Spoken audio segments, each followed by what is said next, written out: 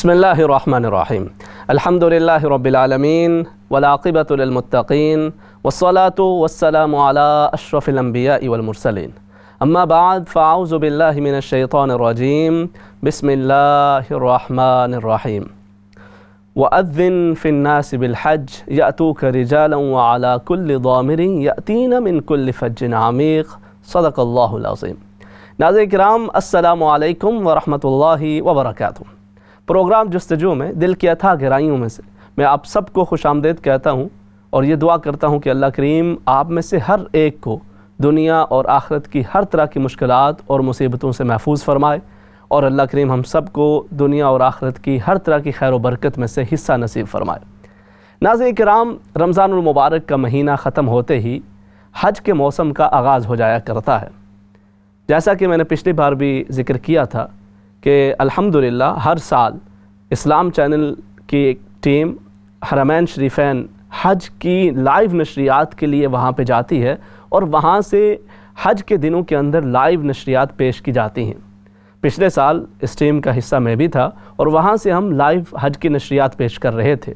اور الحمدللہ بہت ساری آپ کی کالز وہاں پہ تقریباً ہزارہ کی تعداد کے اندر آپ کی کالز وہاں پہ ریسیو کیں۔ اور وہ جو دن رات کی ایک بڑی طویل ٹرانسمیشن تھی، اس کا سلسلہ بھی وہاں سے جاری رہا۔ اور پھر وہاں پر بھی بہت سارے احباب سے ملاقات ہوئی، تو میں نے چند چیزیں محسوس کیں۔ اور انہی کی وجہ سے میں نے یہ ارادہ کیا کہ انشاءاللہ اب کافی جلدی ہی یعنی رمضان و مبارک کے بعد سے ہی، ہم حج کے حوالے سے بات چیت کا آغاز کر دیں۔ اور اس کی بنیادی طور پر جو دو چیزیں میں نے محسوس کی، ایک تو یہ ہے کہ بہت سارے لوگ ان کو اندازہ ہی نہیں کہ حج کی اہمیت کیا ہے؟ حج کی فرضیت، اس کی اہمیت کیا ہے؟ ان کو اس کا اندازہ ہی نہیں ہوتا اور وہ مختلف وجوہات کی وجہ سے حج کے اندر تاخیر کرتے چلے جاتے ہیں۔ پچھلے ویک ہم نے اس حوالے سے بات کی تھی کہ حج میں تاخیر کیوں؟ حج کی اہمیت، حج پہ جانے کا ثواب اور نہ کرنے کی جو وعیدیں ہیں، ان کا ذکر کیا۔ کہ کس طرح نبی کریم صلی اللہ علیہ وسلم نے ارشاد فرمایا کہ جو شخص حج کی استطاعت رکھتا ہو اور پھر بھی حج پہ نہ جائے تو اللہ رب العزت کو اس سے کوئی غرض نہیں ہے کہ وہ یہودی ہو کے مرتا ہے یا نصرانی ہو کے مرتا ہے۔ اور اسی طرح نبی کریم صلی اللہ علیہ وسلم نے ایک اور حدیث مبارکہ کے اندر بھی حج پہ نہ جانے والوں کے حوالے سے جو وعید ہے اس کا ذکر فرمایا۔ اور اللہ رب العزت نے بھی قرآن حکیم کے اندر جہاں پہ حج کا ذکر کیا وہیں پر ارشاد فرمایا، وَمَن كَفَرَ فَإِنَّ اللَّهَ غَنِيٌّ عَنِ الْعَالَمِينَ۔ حج کی استطاعت ہوتے ہوئے بھی جو شخص حج کے لیے نہ جائے اور اس کو گویا کفر کے ساتھ تشبیح دے دی گئی اور اسے ایک طرح سے کفر قرار دیا گیا۔ بلکہ ایک جلیل القدر صحابی وہ اسی آیت کی تفسیر کے اندر وہ فرمایا کرتے کہ بہت سارے مفسرین نے بھی اس کو اس آیت مبارکہ کی تفسیر میں لکھا کہ وہ شخص کہ جو حج کی استطاعت ہوتے ہوئے بھی، حج پہ جانے کے وسائل ہوتے ہوئے بھی، حج کی نعمت سے محروم رہتا ہے اس کا ارادہ نہیں کرتا حرمین شریفین حاضر نہیں ہوتا، تو وہ روز حشر اللہ رب العزت کے سامنے اس طرح پیش ہوگا کہ اس کی پیشانی پر کافر لکھا ہوا ہوگا۔ وَلَا بِاللَّهِ، اللہ رب العزت ہم سب کو محفوظ فرمائے اور ہم سب کو حرمین شریفین کی محبت اور وہاں کی بار بار ادب حاضری کی سعادت نصیب فرمائے۔ تو ایک تو یہ وجہ ہے کہ جس کی وجہ سے میں نے جلد ارادہ کیا کہ اس حوالے سے بات چیت کی جائے تاکہ ابھی دن باقی ہیں کہ جو سستی کرتے ہیں، پوری دنیا گھومتے پھرتے رہتے ہیں اور کہتے ہیں کہ جب بڑے ہو جائیں گے مطلب بڑی عمر کے اندر، آخر عمر کے اندر جا کر جو ہے وہ پھر حج کر لیں گے۔ بچے بچوں کی شادیاں ہو جائیں، پھر حج کر لیں گے۔ یہ کام ہو جائے، وہ کام ہو جائے، پھر حج کر لیں گے۔ لیکن یہ تمام چیزیں اگر وہ ساری بسا اوقات پڑی کی پڑی رہ جاتی ہیں اور انسان حج سے بھی محروم ہو جاتا ہے اور ان سے بھی محروم ہو جاتا ہے اور اس دنیا سے وہ چلا جاتا ہے اور پھر وہی کیفیت ہو جاتی ہے کہ دین گوایا، دونی پیچھے، دونی نہ دیتا ساتھ۔ غافل اپنے پیر کلہاڑا ماریا اپنے ہاتھ۔ تو انسان جو ہے وہ اپنی دین اور دنیا دونوں کا نقصان کر بیٹھتا ہے۔ خسرت دنیا والآخرہ۔ ذالک هو الخسران المبین اور یہ بہت بڑا ایک گھاٹے کا سودا ہوا کرتا ہے۔ تو اس وجہ سے میں نے جو حج کی اہمیت ہے اور اس کو نہ کرنے کی جو وجوہات ہمارے ذہن کے اندر چلتی ہیں، بڑی تفصیل کے ساتھ ان کا ذکر کیا تھا۔ اور دوسری چیز جس کی وجہ سے میں نے یہ محسوس کیا کہ ہمیں حج کے حوالے سے پہلے سے ہی بات چیت کرنی چاہیے، اس کے مختلف موضوعات پہ، وہ یہ ہے کہ بہت سارے لوگ سفر کر کے اور ایک بڑا طویل سفر اچھا یہ سفر دونوں ہے یعنی اردو والا سفر بھی اور انگلش والا سفر بھی۔ ایک لمبا سفر کر کے، ایک طویل مسافت طے کر کے اور پھر ظاہر ہے یہ جو مسافت ہوتی ہے، یہ اتنی آسان نہیں ہوتی، بلکہ انسان اس کے اندر کافی سفر بھی کرتا ہے۔ انگلش والا سفر بھی مطلب کافی صعوبت بھی ہوتی ہے، کافی مشکل بھی اس کے اندر ہوتی ہے۔ اب یہ وہ اتنی لمبی مسافت بھی طے کرے، مشکلات بھی برداشت کرے اور پھر وہاں پہ پہنچ بھی جائے اور پھر اسے یہ بھی معلوم نہ ہو کہ میں نے کرنا کیا ہے۔ بہت سارے لوگ بڑے مصروف ہوتے ہیں اور بیزی ہوتے ہیں، انہیں اندازہ ہی نہیں ہوتا۔ وہ کہتے ہیں جی دیکھی جائے گی، سارے جا رہے ہیں، پورا گروپ جا رہا ہے، پوری فیملی جا رہی ہے، تو کوئی نہ کوئی تو ساتھ ساتھ بتاتا رہے گا، ہو جائے گا۔ لیکن پھر وہاں پہ جا کر احساس ہوتا ہے کہ یہ تو ہم نے سارا کچھ پانچ چھ ہزار پاؤنڈ گویا ہم جو ہے وہ ضائع کر رہے ہیں۔ ہمیں تو پتہ ہی نہیں ہے کیا کرنا، کیا نہیں کرنا۔ اور پھر بعد میں کبھی جو ہے وہ اپنے رشتہ داروں پہ لڑ رہے ہوتے ہیں، ان پہ غصہ نکال رہے ہوتے ہیں۔ کبھی جو گروپ لیڈر ہے اس کو برا بھلا کہہ رہے ہیں، کبھی کسی کو کوس رہے ہیں، کبھی کسی کو کوس رہے ہیں۔ لیکن خود احساس نہیں کہ ہمیں پہلے سے ہی جب ماشاء اللہ اللہ رب العزت کی سعادت عطا فرما رہا ہے، تو پہلے سے ہی ابھی سے کوشش کریں کہ ان چیزوں کو، ان مسائل کو سیکھنے کی اور اپنے ہر طرح کے وہاں پر حاضری کی جو اختیاری ہے، اس کا ابھی سے آغاز کر دیا جائے۔ تو اس لیے انشاءاللہ میں نے یہی ارادہ کیا ہے کہ بڑی تفصیل کے ساتھ آپ کو حج کا پورا جو بیک گراؤنڈ ہے، حرم پاک ہے، مکہ مکرمہ ہے، مدینہ طیبہ ہے، پھر مکہ مکرمہ کے اندر جو مختلف مقامات ہیں، جن کی اہمیت ہے منا ہو، عرفات ہو، مزدلفہ ہو یا پھر حرم پاک کے اندر، چاہے وہ حجر اسود ہے مطاف ہے اور اس کے علاوہ ملتظم ہے اور صفا مروہ ہے اور مختلف جتنے بھی حتیم ہے، ان تمام کی اہمیت بھی، ان کا بیک گراؤنڈ بھی، حج کا پورا طریقہ کار بھی، حج کا فلسفہ اور حج کی روح بھی، یہ تمام چیزیں اس طرح سے آسان کر کے میں آپ کے سامنے رکھ دوں کہ تاکہ جب آپ وہاں پہ جائیں تو انشاءاللہ آپ جو ہے وہ کوئی کمی آپ کو محسوس نہ ہو۔ آپ پوری طرح سے تیار ہوں اور آپ کو ایک پورا، ایک اس کا فلسفہ بھی پتہ ہو، ایک پوری وہ، دیکھیں ہوتا کیا ہے، جب ہمیں ان معلومات نہیں ہوتی نا تو ہم بسا اوقات پھر ایک تو یہ ہے کہ مسائل کی کے آگاہی نہ ہونے کی وجہ سے ہم ایک وہاں پہ ظاہر ہے یقیناً مشکل کا شکار ہو جاتے ہیں اور دوسرا کیا ہوتا ہے کہ ہم مختلف ایکٹیویٹیز کے اندر پڑ جاتے ہیں مطلب دو ہفتے کے لیے گئے ہیں، تین ہفتوں کے لیے گئے ہیں اور وہ بھی پھر ہم وہاں پر بھی ہمیں پتہ نہیں ہے کہ اس جگہ کی، اس کا بیک گراؤنڈ کیا ہے، اس کی اہمیت کیا جا کے دیکھ کر آ جاتے ہیں۔ تو پھر اس سے اس طرح سے ہم لطف اندوز نہیں ہو سکتے، اس طرح سے اس کا فائدہ نہیں ہمیں حاصل ہوتا۔ تو انشاءاللہ جب یہ تمام چیزیں ہمارے سامنے ہوں گی، ہسٹری ہمارے سامنے ہوگی، بیک گراؤنڈ ہمارے سامنے ہوگا، تو ہمیں انشاءاللہ وہاں پر جا کر مزید ایک لطف آئے گا۔ وہاں پہ پھر ہم فون کے ساتھ کھیل نہیں رہے ہوں گے کہ جی اب میں پہلا طواف کر رہا ہوں، یہ دیکھیں جی اب میں یہاں پہ کھڑا ہوں، اب دیکھیں جی میری یہاں سے پکچر آ رہی ہے، اب یہاں سے میری پکچر دیکھیں جی اب میں یہاں سے یہ کر رہا ہوں، وہ کر رہا ہوں۔ اس کو آپ سائڈ پہ رکھ دیں گے اور اپنا تعلق حرم پاک کے ساتھ، اپنے رب تعالیٰ کے ساتھ اس کو مضبوط سے مضبوط تر کرنے کی کوشش کریں گے۔ تو اس لیے انشاءاللہ ہم نے اس کو سمجھنا بھی ہے۔ اچھا یہ آج جو ہے وہ ہم جو ایک تعمیر بیت اللہ شریف ہے، اس کی تاریخ کے حوالے سے ہم بات چیت کا آغاز کریں گے کہ یہ مکہ شہر آباد کیسے ہوا۔ اور پھر اس کی جو خانہ کعبہ کی جو تعمیر ہے، اس پہ بات چیت کریں گے۔ لیکن اس کے ساتھ ساتھ میں ایک چیز یہ بھی، ایک بعد میں یہ نہ ہو میرے ذہن سے نکل جائے، میں اپنے وہ بھائی، وہ بہنیں کہ جو حج کا ارادہ کر رہے ہیں، میں نے پچھلی بار بھی ذکر کیا گیا ان سے میں یہ بھی گزارش کروں گا کہ جہاں پہ وہ دیگر چیزیں تیار کر رہے ہیں، اپنی عبادات کو بہتر کرنے کی کوشش کر رہے ہیں، دعائیں، التجائیں سیکھ رہے ہیں۔ وہاں پر کیا کرنا ہے، اس کے حوالے سے جاننے کی کوشش کر رہے ہیں۔ وہیں پر ساتھ ساتھ فزیکلی بھی ابھی سے اس کو اپنے آپ کو تیار کرنا شروع کر دیجیے۔ کیونکہ ظاہر ہے، وہاں پہ آپ کو کافی چلنا بھی پڑے گا۔ ایون طواف کے کرتے ہوئے بھی آپ کو کافی چلنا ہے۔ پھر آپ جب عرفات کی طرف جائیں گے منا کی طرف جائیں گے، مزدلفہ جائیں گے، تو کافی آپ کو چلنا بھی پڑتا ہے۔ اور یہ تمام جتنے بھی مناسک ادا کرنے ہیں، آپ نے ایون جب آپ سائی کر رہے ہوں ہوں گے صفا مروہ کے درمیان، آپ کو کافی چلنا پڑے گا۔ تو اگر آپ کی عادت ہی نہیں ہے، آپ گھر سے نکلتے ہیں، کار پہ بیٹھتے ہیں اور جا کے جو ہے وہ سپر سٹور سے کوئی چیز لے لی یا آفس میں کام کیا، دوبارہ پھر گاڑی پہ بیٹھے واپس آ کے گھر میں رک گئے اور آپ کو چلنے کی عادت ہی نہیں ہے، تو آپ کے لیے بہت مشکل ہو جائے گی۔ اگرچہ آپ ینگ ہیں، فٹ ہیں، ماشاءاللہ، پھر بھی چلنے کی عادت نہ ہو تو پھر کافی مشکل ہو جاتا ہے۔ اور خاص کر وہ جو ذرا بڑی عمر کے ہیں، ان کو بھی ابھی سے کوشش کر لینی چاہیے کہ آپ ابھی سے اپنا معمول بنائیں۔ اپنی عادت بنا لیں۔ ویسے بھی آج کل سمر ہے تو اپنی عادت بنائیں، معمول بنائیں، پارک کے اندر چلے جانا یا کہیں پر باہر واک کریں جتنی زیادہ واک کریں گے آپ، اس کے ساتھ جو ہے وہ آپ کی جو چلنے کی ذرا عادت وہ بننا شروع ہو جائے گی اور پھر وہاں پر جا کر آپ کو زیادہ انشاءاللہ جو مشکلات ہیں اس حوالے سے بھی، کیونکہ مناسک حج کے ادائیگی کے اندر چلنے کا بہت بڑا اہم کردار اور بڑا رول ہوتا ہے۔ تو اس کو آپ ابھی سے اگر تیاری کر لیں گے تو انشاءاللہ وہاں پر آپ کے لیے آسانی رہے گی۔ بسا اوقات انسان کے ذہن میں نہیں ہوتا، پھر جب وہاں پہ پہنچتے ہیں تو پھر اندازہ ہوتا ہے کہ بھائی اگر میں تھوڑا سا میں نے چل لیا ہوتا، تھوڑی ایکسرسائز وغیرہ اس حوالے سے یعنی کہ آپ جا کے جو ہے وہ جم جوائن کریں اور وہاں پہ آپ جو ہے وہ دیگر جو جم کی ایکسرسائز ہیں، بہت زیادہ وہ شروع کر دیں، جو کر رہے ہیں وہ کر رہے ہیں لیکن یہ ایک بات ہے کہ واک، چلنے کی عادت خود کو ڈالنے کی کوشش کریں۔ آپ کی باڈی وہ چلنے کا، اس کو ایک عادت پڑ جائے تو وہاں پر انشاءاللہ حج کی ادائیگی کے اندر بھی آپ کے لیے آسانی ہو جائے گی۔ اچھا اب ہم آتے ہیں آج کے اس موضوع کی طرف۔ بیت اللہ شریف کی تعمیر۔ بیت اللہ شریف کی تعمیر یعنی اس خانہ کعبہ کی تعمیر مختلف ادوار کے اندر ہوئی، اس کی مختلف اس کی ہسٹری ہے۔ اور دیکھیں اس کے اندر مختلف چیزیں ہیں۔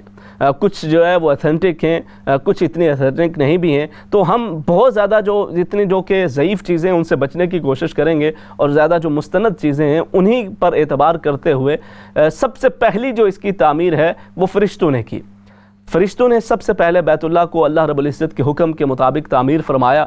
اور پھر صرف یہی ایک یہ تو اہل دنیا کے لیے یہ اس وہاں پر بیت اللہ شریف کی ایک تعمیر کی گئی۔ اور ایک دوسری روایت کے مطابق یہ بھی ہے کہ فرشتوں نے اور حضرت آدم علیہ السلام نے مل کر پہلی جو تعمیر ہے وہ مل کر کی گئی۔ اور ایک روایت کے مطابق فرشتوں نے وہ تعمیر کر دی، بعد میں کافی عرصہ گزر گیا۔ پھر حضرت آدم علیہ السلام جب اس دنیا پہ تشریف لائے تو پھر آپ نے سب سے پہلی جو تعمیر ہے بیت اللہ شریف کی وہ پھر آپ نے فرمائی۔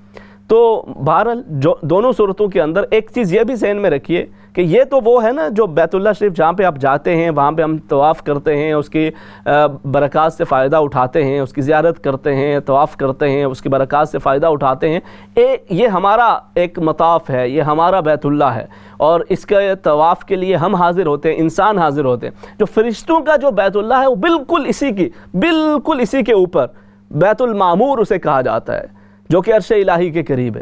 وہاں پر بیت المعمور کے اندر اللہ رب العزت کے جو فرشتے ہیں، وہ بیت المعمور کا طواف کرتے ہیں۔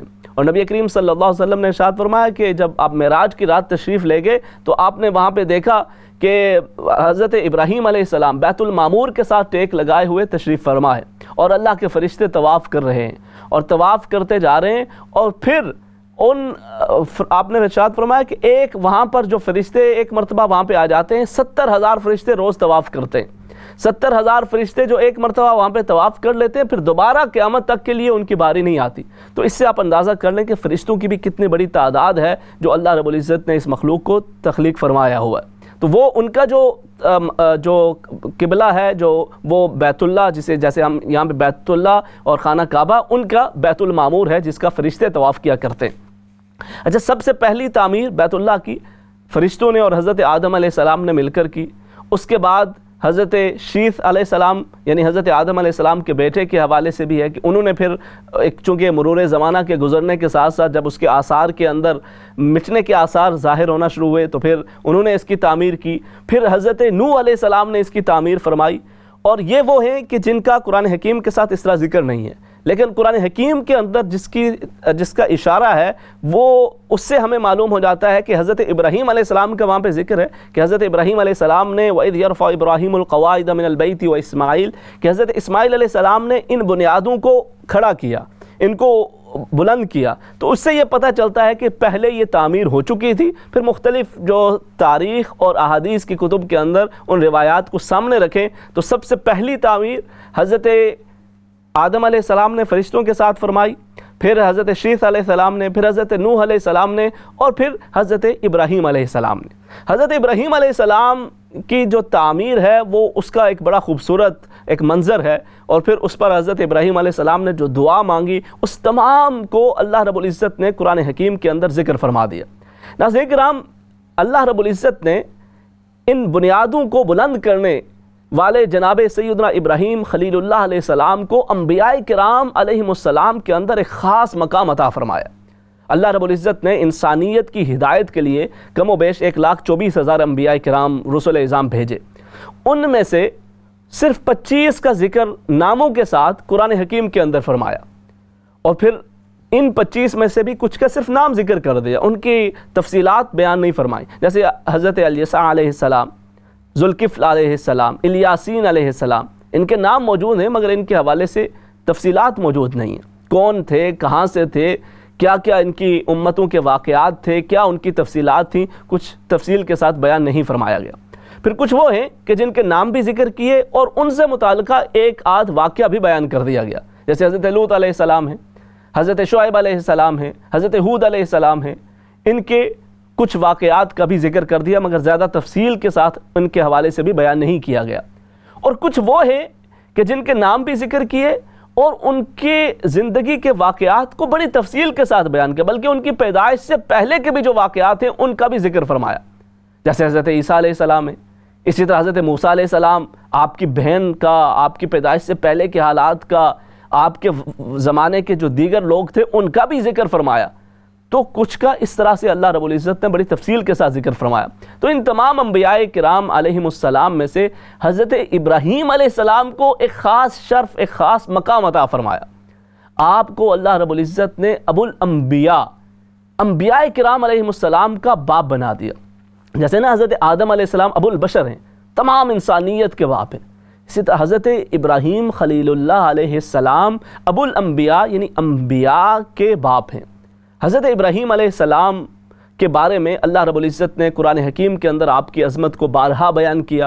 ارشاد فرما، وَلَقَدْ اسْتَفَيْنَاهُ فِي الدُّنْيَا۔ ہم نے انہیں چن لیا۔ کہیں پر آپ کی عظمت، کہیں پر آپ کی شان کو بیان کرتے ہوئے آپ کو کہا کہ آپ ایک امت ہیں۔ یعنی آپ صرف ایک فرد واحد نہیں ہیں، بلکہ آپ کے اندر اتنی خصوصیات ہیں کہ گویا آپ اپنی ذات کے اندر ایک انجمن کی حیثیت رکھتے ہیں اور ایک امت کی حیثیت رکھتے ہیں۔ تو یہ اس طرح سے آپ کی عظمت کو ذکر کیا۔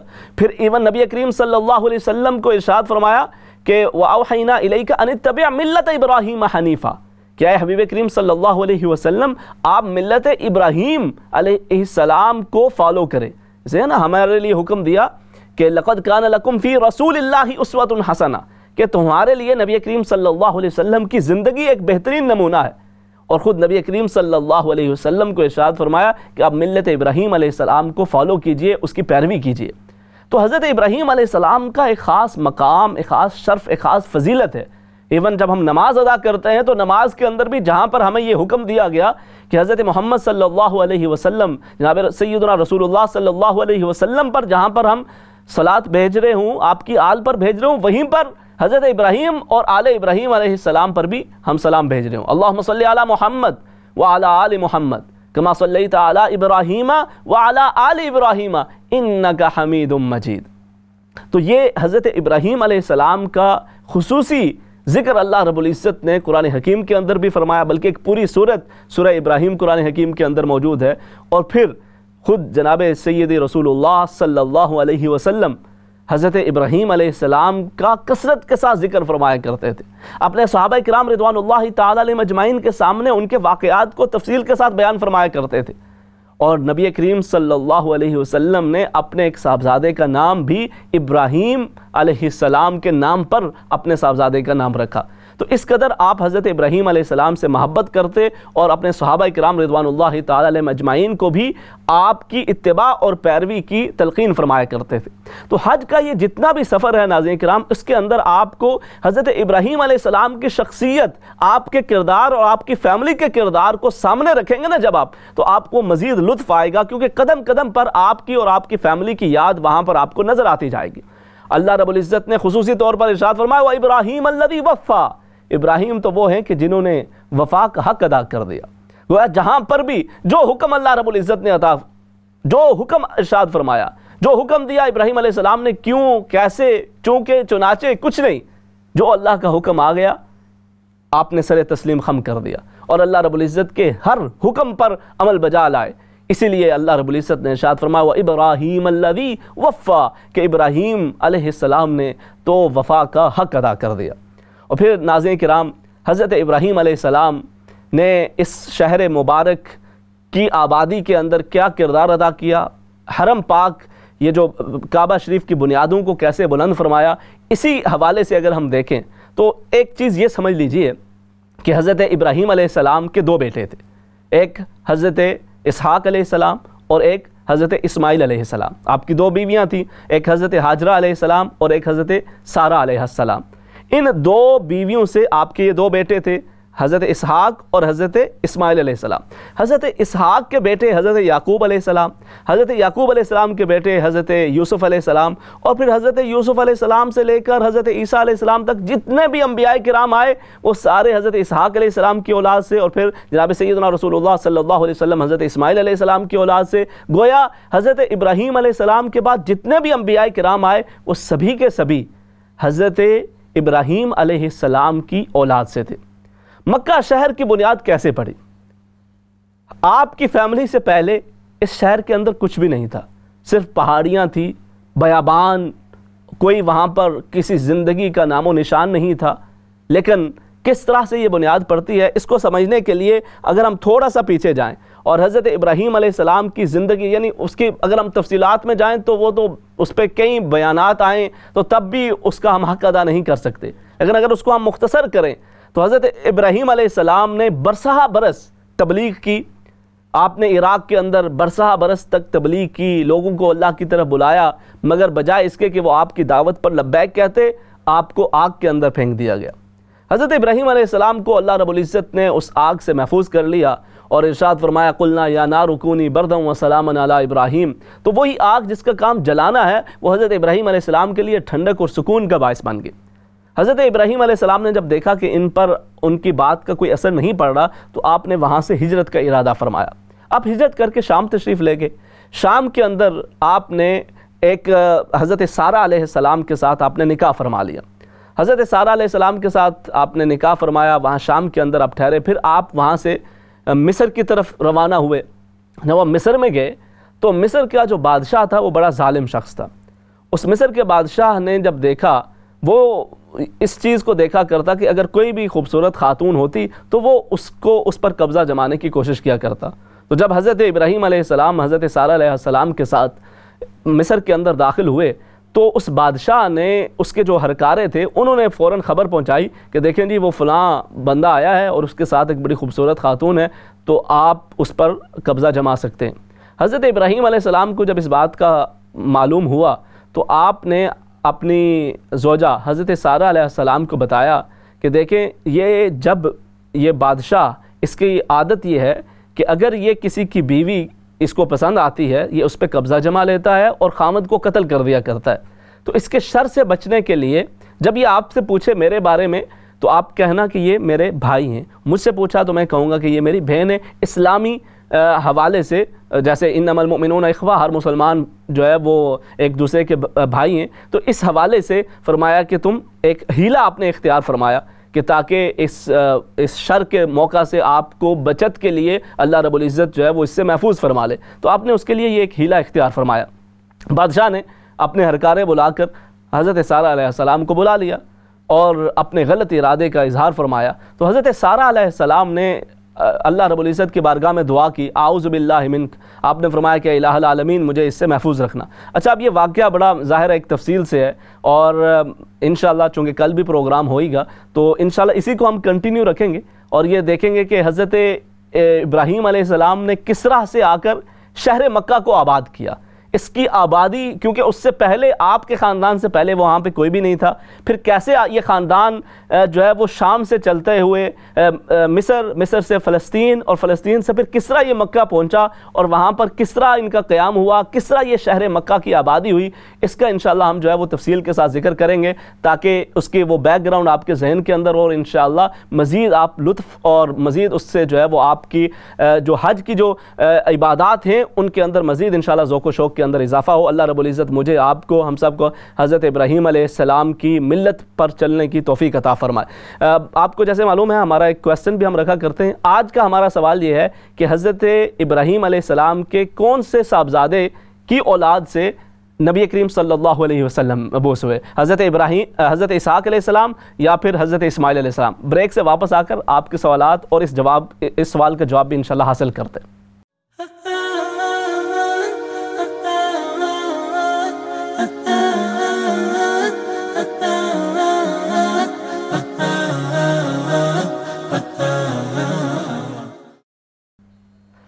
السلام علیکم ورحمۃ اللہ وبرکاتہ۔ ناظرین کرام، پروگرام جستجو کے دوسرے حصے میں آپ کو خوش آمدید۔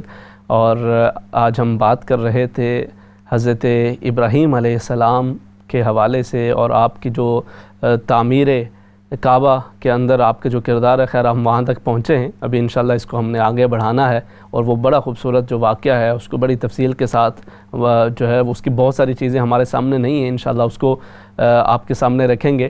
اور آپ کو اندازہ ہوگا کہ کس طرح سے کن کن مشقتوں سے گزر کر یہ قافلہ وہاں پہ پہنچا اور مکہ شریف کی یہ آبادی ہوئی اور وہاں سے پھر کس طرح سے وہ ایک ایسی جگہ کہ جو وادن غیر زرع تھی جہاں پہ کوئی نہ بندے کا نام و نشان تھا، نہ کوئی فصل تھی، نہ کچھ، نہ کہاں، اور پھر کیسے وہاں پہ ایک وہ شہر بنتا چلا گیا۔ تو انشاءاللہ اس حوالے سے یہ چیزیں ساتھ ساتھ ہم جاری رکھیں گے اور اسی کے مناسبت سے آج کا ایک سوال بھی آپ کے سامنے رکھا ہے۔ اچھا سوال رکھنے کا مقصد یہ ہوتا ہے کہ بسا اوقات ظاہر ایک پورا جو ایک بیان ہوتا ہے وہ ذہن کے اندر نہیں رہتا۔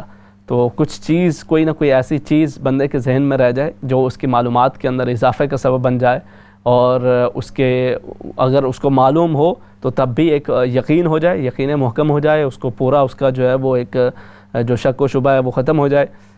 کیونکہ ہم آخر کے اندر پھر جواب بھی بتایا کرتے ہیں اور دوسرا یہ ہوتا ہے کہ اگر نہیں معلوم تو تین دو آپشن کبھی تین، کبھی دو، جیسے آج دو آپشن ہیں، تو ان میں سے کوئی ایک بھی بندہ چوز کر کے تو اس طرح سے شامل ہو جائے تاکہ اس کا جو بھی خیال ہے، اس کے مطابق انشاءاللہ اسے پھر آخر میں پتہ چل جائے گا کہ کیا درست ہے۔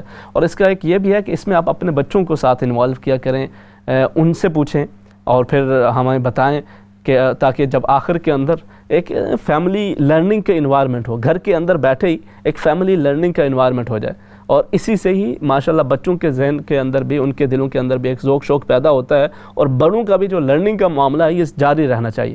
یہ صرف اس طرح نہیں ہونا چاہیے کہ بس جی مطلب سن لیا اور ختم ہو گئی تو بات آئی گئی ہو گئی یہ اس طرح، یہ ساتھ سوال رکھنے کا مقصد وقت یہ ہوتا ہے کہ تاکہ آپ اس کا ایک حصہ بن جایا کریں۔ اور آپ کے جو یہ تعلیم و تعلم کا سلسلہ ہے یہ بھی ساتھ ساتھ جاری رہے معلومات میں اضافہ بھی ہو اور اس کے ساتھ ساتھ انشاءاللہ اس کی جو ایک برکات ہیں وہ بھی ساتھ ساتھ حاصل ہوتی رہے۔ اور دوسرا آپ کے اپنے کوئی سوالات ہیں اب وہ بھی ساتھ شامل ہو سکتے ہیں تو کالرز ان کو شامل کرتے۔ ہیں جی السلام علیکم۔ وعلیکم السلام ورحمۃ اللہ وبرکاتہ۔ جی ماشاء اللہ ہاں جی آج کا سوال تو ذرا آسان ہی اچھا۔ حضرت اسماعیل علیہ السلام ہے جی جواب۔ نمبر ٹو چلیں انشاءاللہ ہم آخر میں جو ہے وہ ذکر کریں گے۔ کب جا رہے ہیں حج پہ؟ انشاءاللہ دیکھیں ابھی جیسے اینڈ میں جائیں گے؟ جی انشاءاللہ جیسے کوئی بھی کنفرم ہوتا ہے انشاءاللہ دیکھتے ہیں۔ اللہ آپ دعا کریں۔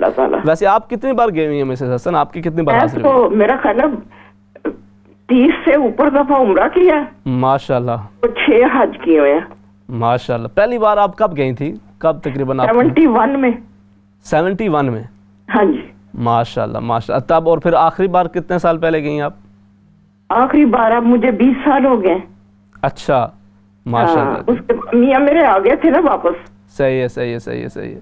محرم کے بغیر تو نہیں جا سکتی تھی۔ صحیح ہے صحیح ہے صحیح ہے تو وہ وہاں پہ ہوتے تھے؟ وہ وہاں ان سے پہلے میں نے تین حج اور میرا خود سات آٹھ عمرے کر لیے تھے۔ ماشاءاللہ میری وجہ سے گئے تھے کہ میں باغ باغ وہاں جاتی ہوں۔ تو میں بھی دیکھوں جا جا کے کیا ہے وہاں پہ صحیح ہے صحیح ہے صحیح آپ جب حضرت ابراہیم علیہ السلام کی بات سناتے ہیں نا کہ حضور پاک نے ان کو جماعت کرائی تھی۔ جی۔ تو میرے ہسبینڈ کو یہ خواب آئی تھی تو تب گئے تھے پہلے وہ بلیو نہیں کرتے تھے۔ اللہ اکبر کہتے تھے میرا حج عمرہ تو میرے میرے گاؤں میں ہے۔ ان کو پھر خواب آئی کہ آپ حضور پاک صلی اللہ علیہ وسلم نے مجھے بلایا۔ تو وہاں پہ وہ جماعت کرا رہے ہیں تو میں این ان کے پیچھے بیٹھا ہوں۔ جب انہوں نے سلام پھیرا تو انبیاء کی طرح منہ کیا تو میری چہرے پہ ان کی سب سے پہلی نظر پڑی۔ تو کہتے ہیں نجم الحسن جھولی کرو میں کھجورے دوں آپ کو۔ کہتے ہیں میں نے جھولی پھیلا دی تو آپ نے کھجوروں سے میری جھولی باندھی۔ ماشاء اللہ ماشاء اللہ اور پھر ماشاء اللہ میں نے ان کو پھر بھیج دیا عمرہ کرنے۔ ماشاء اللہ ماشاء اللہ بڑی سعادت کی بات ہے۔ آپ بارہ حاضر بھی ہوئی ہیں اور اللہ رب العزت اسے قبول فرمائے اور اب جیسے آپ کے بیٹھے بہو وہ بھی ہو کے آئیں اللہ پاک ان کا بھی عمرہ قبول فرمائے۔ بہت شکریہ مسز حسن آپ شامل ہوئی ہیں انشاءاللہ ہم آخر میں ذکر کرتے ہیں۔ جزاکم اللہ خیر۔ نیکسٹ کالر انہیں شامل کرتے ہیں۔ جی السلام علیکم۔ وعلیکم السلام۔ بیٹا کیسے ہیں آپ؟ اللہ کا شکر الحمدللہ آپ ٹھیک ٹھاک ہیں؟ شکر اللہ کا بیٹا۔ بیٹا میں نے جو سوال آپ نے کیا اس کا جواب دینا چاہ رہی ہوں۔ جی۔ وہ ہے حضرت اسماعیل علیہ السلام۔ چلیں آخر میں انشاءاللہ ذکر کرتے ہیں۔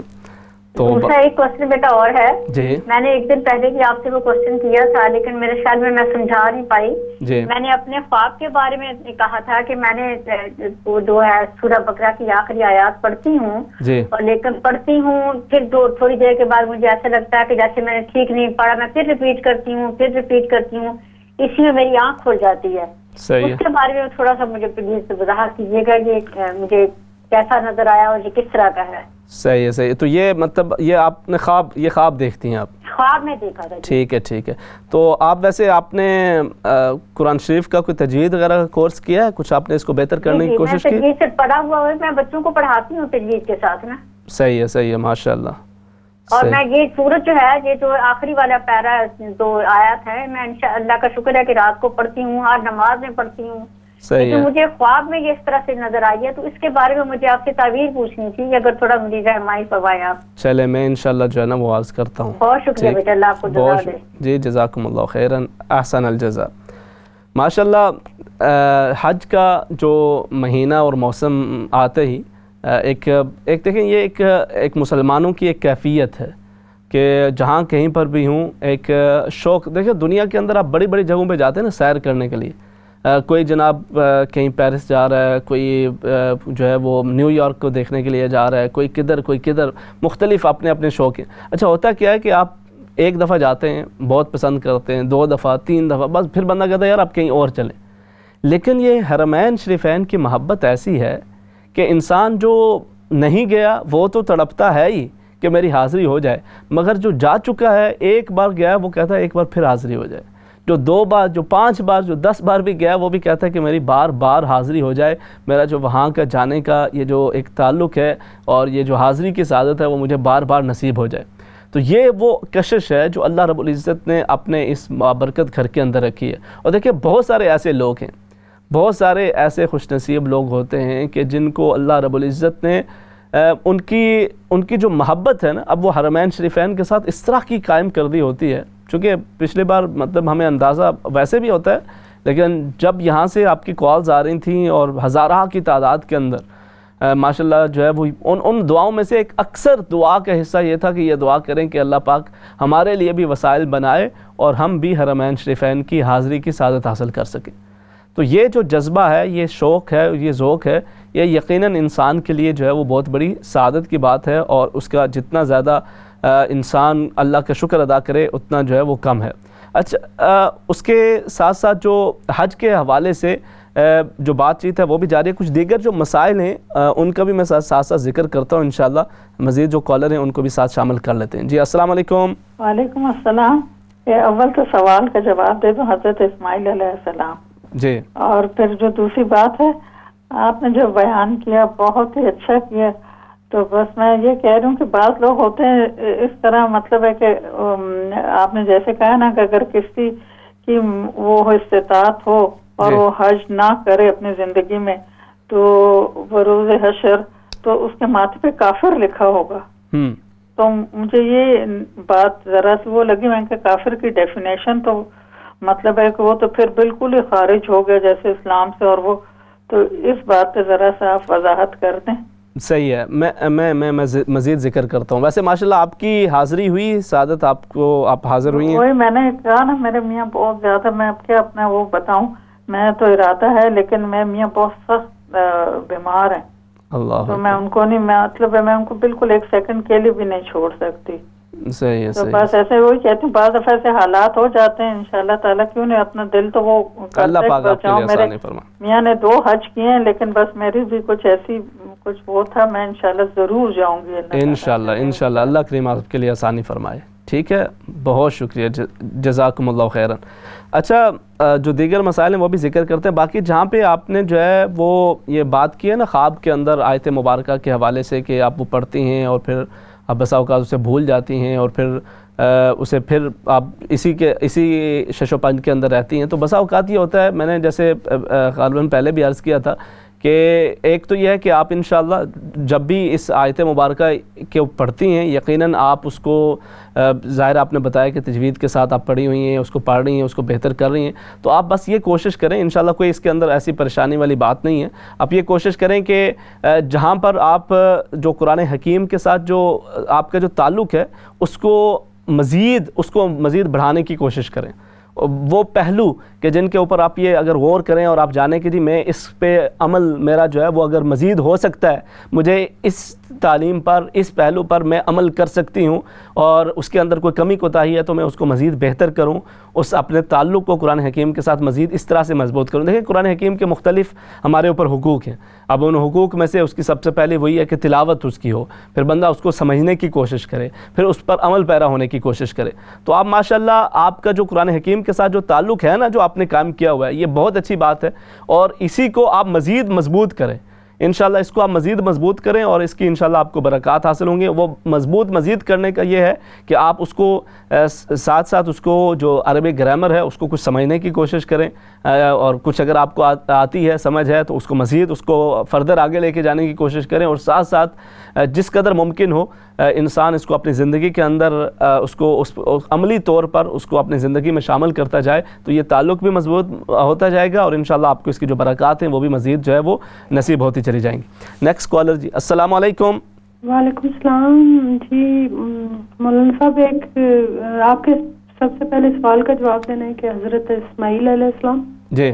اور ایک سوال پوچھنا ہے پلیز جی جی فرمائیے۔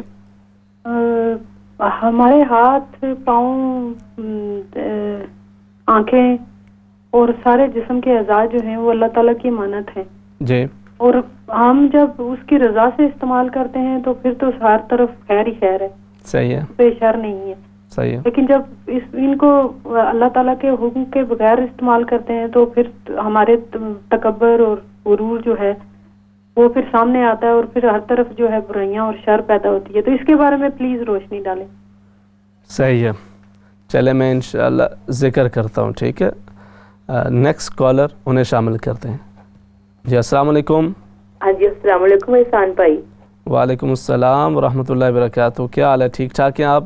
اللہ کا شکر ہے بھائی آپ سنائیں ٹھیک ہے اللہ کا کرم الحمدللہ۔ کافی عرصے بعد اسکاٹ لینڈ سے آپ کی کال آئی ہے۔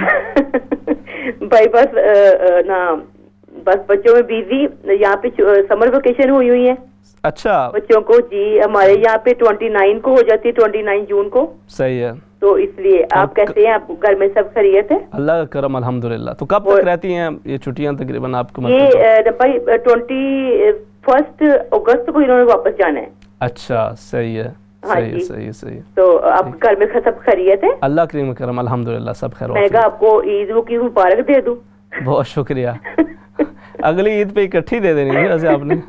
اور وہ عید پہ تو آپ ان شاء اللہ تعالیٰ وہاں پہ ہوں گے نا سعودی عرب میں۔ انشاءاللہ اللہ رب العزت کو منظور ہوا تو جو بھی انشاءاللہ ہاں جی انشاءاللہ تعالیٰ۔ بھائی میں نے احسان بھائی ایک تو سوال کا جواب دینا تھا۔ جی۔ نا حضرت اسماعیل علیہ السلام۔ جی۔ اور دوسرا میں نے کہا میں آپ کو آپ کو ایڈوانس میں کہہ دوں کہ آپ جب بھی جائیں گے تو پلیز محمد قاسم اور حلیمہ کو اور ہمیں مجھے اور میرے میاں کو یاد رکھیے گا دعاؤں میں۔ انشاءاللہ انشاءاللہ یقیناً اللہ رب العزت انہیں سلامت رکھے۔ ماشاءاللہ کچھ مزید صورتیں انہوں نے یاد کی ہیں؟ ہاں جی نا احسان بھائی محمد قاسم نے ماشاءاللہ یہ سکس پارے اس نے فنش کر لیا ہے سکس پارا ماشاءاللہ۔ نیلی نیلی فنش ہی ہے۔ ماشاءاللہ اور صورتیں کافی زیادہ اس نے یاد کی ہوئی ہیں۔ ماشاءاللہ نا بہت میری پوری توجہ اس پہ ہے۔ بس یہ بہت اچھی بات ہے۔ آپ نے پچھلی بار بھی مجھے یاد ہے میں نے اپنی جو ڈائری ہے نا اس کے اندر وہ نام لکھے ہوئے ہیں۔ جن جنہوں نے دعا کے لیے کہا تھا تو وہ قاسم کا بھی حلیمہ کا بھی ماشاءاللہ نام لکھا ہوا ہے۔ اور اللہ رب العزت ان کی یہ جو قرآن حکیم کے ساتھ آپ کی بھی تعلق ہے آپ کوشش کر رہی ہیں۔ اللہ پاک ان کو بھی کامیابی عطا فرمائے اور آپ کو بھی یقیناً اللہ کریم اس کا اجر اور ثواب عطا فرمائے گا۔ ٹھیک ہے بہت شکریہ جزاکم اللہ خیرن۔ نیکسٹ کالر انہیں شامل کرتے ہیں۔ السلام علیکم۔ وعلیکم السلام بیٹا کیسے اللہ کا شکر الحمدللہ۔ آپ ٹھیک ہے مبارک ٹھیک ہے بیٹا۔ اللہ کریم کا کرم۔ آج کر کے بہت مبارک خیر مبارک بہت شکریہ۔ آج کا ٹائم آگے۔ بس۔ بیٹا بہت مبارک ہو جمعہ مبارک۔ تو میں دعا واسطے کیتا تھی بیٹا اچھا اچھا۔ دعا کرنا اللہ دیکھتی روز ہی ہوں پہلے میں کرتی آواز تو نہیں کٹنی بھی ہے تھوڑی۔ پہ گئے تھے نا میں رہی فلم پھر نہیں کیتا نا وہ۔ اچھا مطلب دعا میں یاد رکھنا بیٹا دعا کرنا۔ انشاءاللہ تو پروگرام دیکھتی رہتی ہیں ویسے آپ؟ نام دیکھتی ہیں روز دیکھتی ہوں۔ چلو۔ آپ کیا انتظار کرتی ہیں؟ ابھی آئیں گے۔ دیکھتی تھی روز ہی وہ۔ چلو ماشاءاللہ اللہ پاک سوں کی سلامت رکھن برکتاں عطا فرمان۔ تو پچھلے سال کال کی تھی سیدھا ان پھر کال کی تھی اللہ کریم قبول فرمان۔ ٹھیک ہے؟ اللہ کے آپ کو برکتیں عطا فرمائے۔ یہ ماشاء اللہ آپ لوگوں کا یہ جو ایک جو فیڈ بیک ہوتا ہے، اس کی بڑی اہمیت ہوتی ہے۔ آپ لوگ مطلب وہی ہے، ہمارے بہت سارے ایسے ناظرین ہیں، خاموش ناظرین جو ہوتے ہیں کہ جو ماشاء اللہ دیکھتے ہیں۔ اور نہ صرف یہ کہ دیکھتے ہیں، بلکہ اپنے جو رشتہ دار ہیں، ان کو بھی اس طرف متوجہ کرواتے ہیں۔ کوئی، کئی وہ ہماری کچھ بہنیں وہ بھی یہ بھی ذکر کر رہی تھیں۔ ایک بھائی انہوں نے بھی بتایا کہ جی وہ ماشاءاللہ پروگرامز کو ریکارڈ کر کے پھر اپنے جو دیگر فیملی ممبرز ہیں ان کے ساتھ بھی شیئر بھی کرتے ہیں۔ اللہ رب العزت آپ سب کو برکتیں عطا فرمائے۔ ہم، مجھے، آپ کو، ہم سب کو دین متین پر اللہ کریم چلنے کی توفیق عطا فرمائے۔ اور یہ جو ہمارا جو ایک یہ تعلق، جو رشتہ اس دین متین ہی کے حوالے سے ہے، اللہ کریم اسے اس رشتہ کی طرح بنا دے کہ جس کے بارے فرمایا کہ روز حشر ایسے لوگ کے جن کے یہ تعلق یہ رشتہ اللہ کی رضا کی خاطر ہوگا تو اللہ پاک انہیں اپنے حشر کے تلے اور حشر کے نیچے جگہ عطا فرمائے گا حشر کے سائے میں جگہ عطا فرمائے گا جبکہ اور کوئی سایہ وہاں پہ نہیں ہوگا۔ آمین۔ نیکسٹ کالر جی السلام علیکم۔ وعلیکم السلام ورحمۃ اللہ وبرکاتہ۔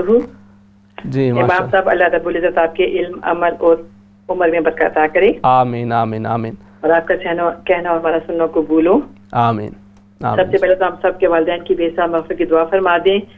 اور میرا سوال بھی ہے لیکن اس سے پہلے میں اسلام چینل کی پوری ٹیم کو خاص طور پہ آپ کو بہت بہت مبارکباد پیش کرتی ہوں کہ بہت اچھا ٹاپک آپ نے چوز کیا ہے اور اس سے بہت زیادہ رہنمائی ہوگی ورنہ عام طور پہ تو ہم ہم لوگ دیکھتے ہیں کہ جو ہم لوگ پانچ وقت نمازیں پڑھتے ہیں اس میں اتنی غلطیاں کرتے ہیں تو حج تو زندگی میں ایک ہی بار جو کرتا ہے تو اس میں آپ سوچیں کتنی جی غلطیاں ہوتی ہوں گی۔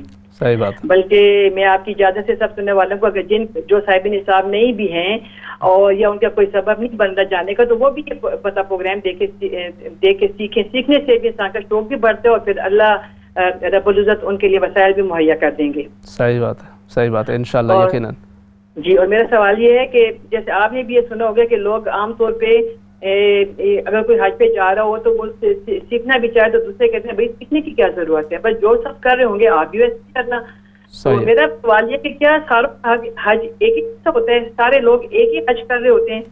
کہ نہ کوئی مطلب جی کوئی قسمیں بھی ہیں یا کوئی مختلف لوگ کر رہے ہوتے ہیں تو اس پہ جی روشنی ڈالیں کہ یہ جی کانسیپٹ کہاں تک اگر کوئی کسی کی بات مان لے ہاں بھائی ٹھیک ہے سارے مطلب جی اکٹھے تو ہوتے ہیں سواب بھی کر رہے ہوتے ہیں اکٹھا مینا میں بھی اکٹھے ہوتے ہیں زلفہ میں بھی ہوتے ہیں تو جو سب کر رہے ہوتے ہیں تو ہم بھی ویسا کریں تو اس کے اوپر ذرا جی روشنی ڈالیں۔ بالکل میں اس پہ ویسے بات کرتا ہوں مجھے یہ بتائیں چونکہ میرے سامنے تو گھڑی نہیں ہے آپ نے آج کچھ جلدی کال نہیں کر لی ویسے اپنے ٹائمنگ سے؟ کیونکہ آپ بریک کے بعد شامل ہوتی ہوتی۔ آپ میرے مطلب جو میرا بھی شوق ہے جذبہ کے لوگ سیکھیں ذرا آپ میرے جی سوال پہ ذرا مطلب کیونکہ اینڈ میں جب میں کرتی ہوں تو پھر ٹائم نہیں ہوتا۔ ٹائم نہیں ہوتا تو ذرا اس پہ ذرا حج کی قسموں پہ اور اس پہ ذرا جی روشنی ڈالے تو میری جی نیت یہ تھی اس سے پھر میں نے جلدی کال بالکل ٹھیک ہے بہت شکریہ بہت شکریہ مسز ناصر جزاکم اللہ خیر نیکسٹ کالر انہیں شامل کرتے ہیں۔ جی السلام علیکم۔ وعلیکم السلام۔ جی۔ جی۔ آپ لائیو ہیں؟ جی لائیں گے جی بات کریں کیا حال چال ہے؟ ٹھیک ہے؟ بس ٹھیک ہے۔ جی کیا فرمائیں گے آپ؟ جی مجھے پوچھنا ہے کہ آپ نے یہ ٹاپک دکھایا ہے مجھے جواب دینا حضرت اسماعیل علیہ السلام۔ چلے ماش پکی بات ہے؟ جی۔ چلے میں دوسری بات یہ ہے کہ مجھے سوال کرنا ہے اپنی بیٹی کے بارے میں۔ وہ قرآن پڑھتی تھی آٹھ پانچ پارا۔ جی۔ تو وہ ابھی میں اس کو بول بول کر تھک گئی ہوں سمجھا بھی رہی ہوں۔ وہ پڑھتی نہیں ہے۔ کس کے پاس پڑھتی تھی؟ آپ کے پاس یا کہیں پڑھ نہیں میں کسی لیڈی کے پاس اس کو بٹھایا ہوا تھا۔ صحیح ہے۔ جی۔ تو اب میں اس کو پڑھاتی گھر میں میں پڑھتی ہوں۔ میں نے خود بھی یاد کیا ہوا ہے۔ میرے ابو کے ساتھ میں گئی ہوئی تھی۔ تو اس کو میں سمجھاتی ہوں۔ یہ قرآن سب سے اولا اس کو پڑھنا چاہیے سمجھنا چاہیے۔ نہیں بیٹھتی کیا کروں؟ کچھ پڑھنے کے لیے جا کچھ وصیفہ بتائے پلیز۔ چلے میں انشاءاللہ ذکر کرتا ہوں میری بہن۔ ٹھیک ہے؟ بہت شکریہ جزاکم اللہ خیر نیکسٹ کالر انہیں شامل کرتے ہیں۔ جی السلام علیکم۔ السلام علیکم۔ وعلیکم السلام۔ جی جی میری بہن۔ جی السلام علیکم۔ وعلیکم السلام ورحمۃ اللہ وبرکاتہ۔ جی امام صاحب میرے پریشانی ہے بہت اللہ کے مسانی فرمائے۔ جی میرا ہسبینڈ ہے وہ بھی مینٹل ہیلتھ ان کو سیکشن کر دیا ہے وہ اسپتال میں ہے۔ اچھا۔ تو میرا بیٹا ہے اٹھارہ سال ہے وہ اس کا بھی وہ بھی سیکشن کر دیا۔ تو میں بہت پریشان ہوں اس سال میں کیا کروں؟ اللہ اکبر اللہ اکبر۔ تو یہ انہیں کب سے یہ مسئلہ کیسے ہوا؟ جی وہ تقریباً تو میرے ہسبینڈ کا تو چار سال ہو گئے ہیں۔ اچھا۔ لیکن اب بہت زیادہ ہو گیا ہے۔ لیکن میرا بیٹا ہے نا پتا نہیں آپ کو پتا ہے وہ ڈسٹرک ہے۔ صحیح ہے۔ اس کا ذہن تھوڑا بچیاں جیسا ہے لیکن وہ اٹھارہ سال کا ہے۔ صحیح ہے صحیح ہے۔ تو وہ مارتا تھا ٹیچروں کو مارتا تھا صاحب کو مارتا تھا غصہ اس کو بہت آتا تھا۔ اس کو کنٹرول میں نہیں وہ ہوتا تھا۔ چلیں اللہ کریم آسانی فرمائے۔ کیا نام ہے آپ کے بیٹے کا؟ زین۔ زید؟ زین۔ زین۔ ٹھیک اور آپ کے ہسبینڈ کا؟ افضل۔ افضل۔ اللہ کریم دونوں کے لیے آسانی فرمائے میں دعا گو ہوں۔ اللہ پاک آپ کو بھی ہمت حوصلہ عطا فرمائے۔ میں انشاءاللہ جو ہے نا وہ مزید بھی بات کرتے ہیں اس پہ۔ ٹھیک ہے؟ بہت شکریہ جزاکم اللہ خیر نیکسٹ کالر انہیں شامل کرتے ہیں جی السلام علیکم۔ وعلیکم السلام۔ جی۔ جی میرا سوال یہ ہے کہ ہماری کچھ جائیداد ہے پاکستان میں۔ جی۔ ہمارا انکل وہ بار بار انٹرفیئر کرتا ہے اور کام کو خراب کر دیتا ہے۔ کے لیے کوئی آیت یا دعا ہے؟ صحیح ہے تو وہ آپ ان سے بات چیت نہیں کرتی ہیں؟ نہیں وہ وہ یہاں پہ ہوتے ہیں آپ کے انکل یا وہ پاکستان میں ہی ہیں؟ پاکستان میں ہوتے ہیں انکل ہمارے۔ اچھا تو تو آپ اسے وہ مطلب وہ مسائل پتہ نہیں ڈالتا تو ہمارے کام رکوا دیتا ہے۔ اچھا آپ یعنی اسے بیچنا چاہ رہی ہیں یا مطلب اس پہ وہ قبضہ کرتے ہیں یا کیا مطلب کس طرح سے؟ یہی مسئلہ ہے۔ صحیح ہے۔ چلیں چلیں، اللہ کریم آپ کے لیے آسانی فرما میری بہن، میں انشاءاللہ ذکر کرتا ہوں۔ ٹھیک ہے؟ بہت شکریہ، جزاکم اللہ خیر اچھا ہماری وہ بہن شامل ہوئی تھیں، ان کے ہسبینڈ بیمار ہیں، اللہ پاک انہیں شفا عطا فرمائے، صحت تندرستی عطا فرمائے۔ انہوں نے بات کی کہ کفر کے حوالے سے مطلب میں نے چیز اللہ رب العزت، ظاہر ہے، انسان اللہ پر ایمان رکھتا ہے۔ تو لیکن یہ جو اس کی جو وعید ہے نا، جو وعید کی یعنی جو اس کی آپ کہیں کہ ایک کچھ چیزیں ہوتی ہیں جو ترہیب کے طور پر ایک بندے اگلے کو احساس دلانے کے طور پہ ذکر کی جاتی ہیں، ان میں سے ایک یہ ہے۔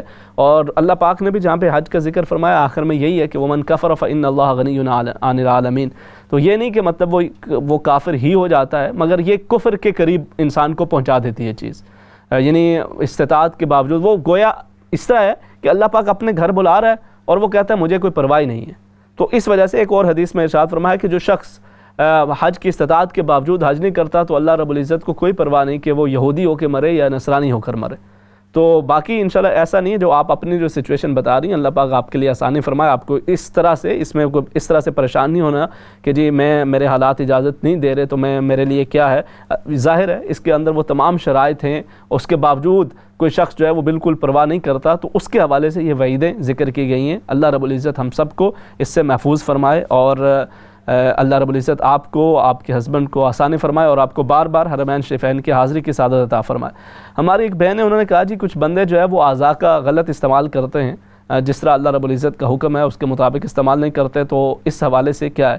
یقیناً یہ جو ہمارے پاس جتنی بھی چیزیں ہیں، یہ اللہ رب العزت کی دین ہیں اس کی امانت ہیں اور اس کو اسی طرح سے استعمال کرنا چاہیے کہ جس طرح اللہ رب العزت نے ہمیں حکم دیا۔ اس پہ مزید بات کرتے ہیں۔ ایک مختصر سا وقفہ، پھر مزید انشاءاللہ آپ کی کالز بھی شامل کرتے ہیں اور ان سوالات کے جوابات بھی ذکر کرتے ہیں۔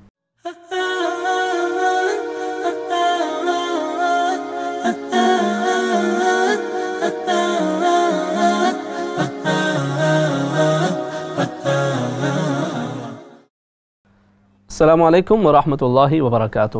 ناظرین کرام، آپ کے سوالات ساتھ ساتھ شامل کر رہے تھے ہم اور اس آپ پروگرام کے آخری حصے میں بھی انشاءاللہ مزید آپ کی کالز کو شامل کریں گے اور ساتھ ساتھ جو آج کا سوال ہے اس کے حوالے سے آپ جواب دینا چاہیں یا آپ کا کوئی اپنا سوال ہو تو اس میں بھی آپ ساتھ ساتھ شامل ہوتے رہیں گے۔